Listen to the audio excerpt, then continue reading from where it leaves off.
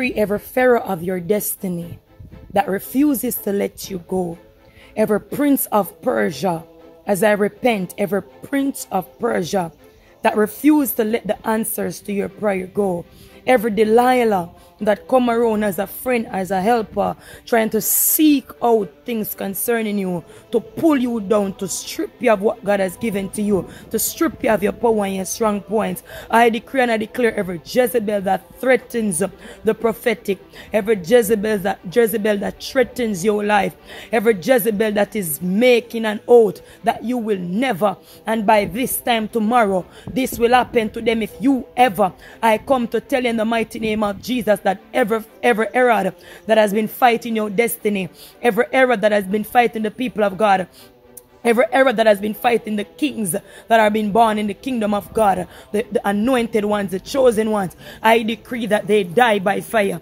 I decree that we're loosed from them. I decree that they will not be able to stop us. I decree that we get what the Lord promised unto us. I decree that this is the day that the Lord has made. I decree that we shall testify. I decree the grace for more is upon us. I decree the ear him anointing upon us. I decree the grace for favor upon us. I decree the anointing for open door upon us. I decree the anointing for blessings be upon us. I decree more fire be upon us. I decree our eyes be open. I decree discernment be upon us. I decree strength be upon us. I decree we learn to endure. And I decree most of all in the mighty name of Jesus, I ask that every single spirit of darkness that fights us, our God arise and causes them to be scattered.